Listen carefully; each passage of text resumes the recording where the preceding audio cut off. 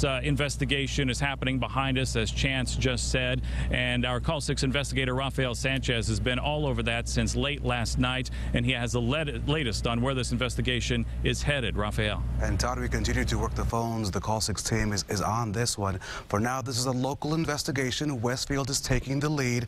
I've learned from a source that based on the initial observation of the damage there in Westfield, that the pit cover, in the words of my source, specific words, was not constructed in a way to hold people. Now, that's the initial look. The final outcome, as we heard from Superintendent Mark Keen, may not come for two weeks. We'll see where this investigation takes us. Todd?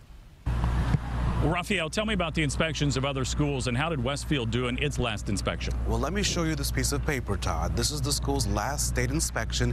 It was held back in June 2010. If you take a close look, you won't see much on it. It's only one page, but the school, though, the important thing that Westfield was found in compliance back in 2010.